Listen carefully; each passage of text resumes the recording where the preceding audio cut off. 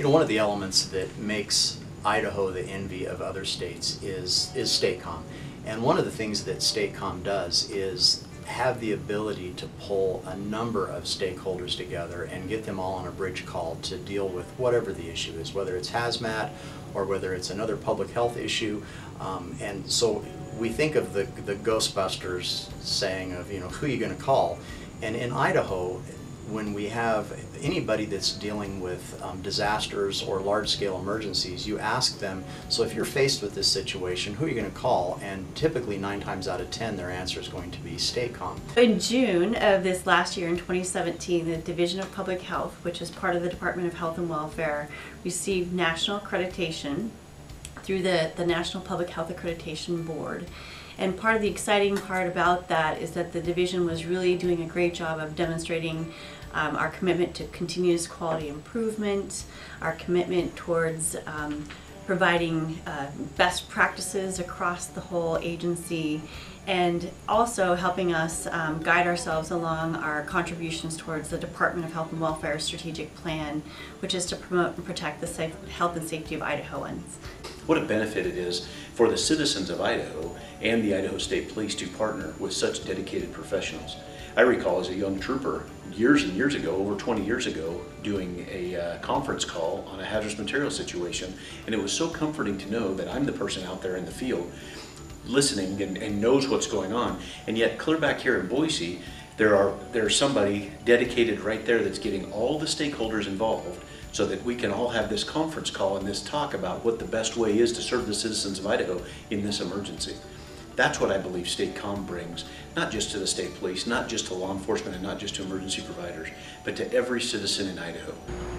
The Office of Emergency Management and before that, the Bureau of Homeland Security benefited with a partnership based on a nationwide recognized best practice in hazmat response. Um, so having the ability to get a lot of people in the same room to listen to the same information as expeditious as possible has benefited the state of Idaho and the recognition we've received for the hazmat program that we have throughout the nation. StateComm gives us an incredible capability to communicate not only with our regional healthcare coalition partners, but also to pull in other subject matter experts as necessary during a large-scale incident. The state hazmat plan is, is built around um, uh, working with StateComm and uh, and had become a best practice throughout the throughout the country um, for creating a, a common operating picture for multiple agencies at the, the local, state, and federal level. So uh, that is unique in the in the country. We've been working with StateComm and improving our ability to respond to those kinds of large spills. And I think if it weren't for StateComm and their ability to bring large groups of interested parties together that can all bring something to a large spill, uh, we wouldn't have nearly the capability that we have today. 2014 with the Ebola scare in the United States was a critical time for interacting with StateComm. It's one of those areas that really demonstrated the value of the process where if you get a person under investigation, we can have the hospital, we can have the civil support team, we can have state epi, we can have CDC, we can have the laboratory all sitting down collectively making decisions. Um, and that, that, that's a model that's unique.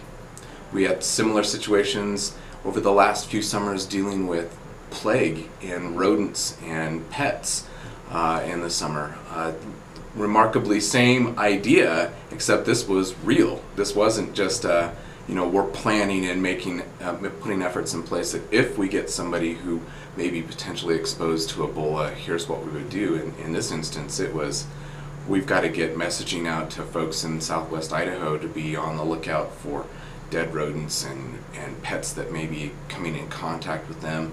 At the laboratory, we're constantly working with rabies infected animals or potential rabies cases. And so it's amazing how after five o'clock, that's when the excitement starts, and we can always count on StateComm to make sure that we get the information to the people that need it.